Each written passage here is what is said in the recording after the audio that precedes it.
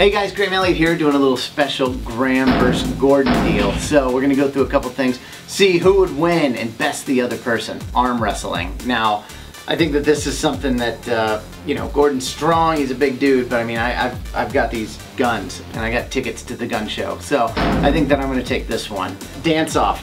Hands down, I win this thing. You know, I want to be on Dancing with the Stars. I, I used to swing dance uh, in competitions could break dance, I can do it all. I love dancing. Marathon.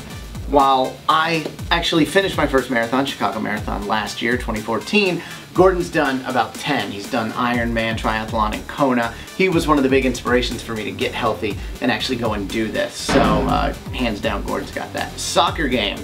You know, the thing is, uh, Gordon actually played professionally for the Glasgow Rangers. I played when I was young and my mom was the coach for four or five years. So I love it, I enjoy it, but again, sadly, I think he's gonna beat me on that one. But if we could go to baseball, then I'm totally gonna school him. Karaoke competition, drop the mic. I own this thing. I'm gonna be able to do all the different songs, music styles. I've never heard Gordon sing, but sadly for everybody else, I probably sing every five minutes up there on the stage on MasterChef and MasterChef Junior.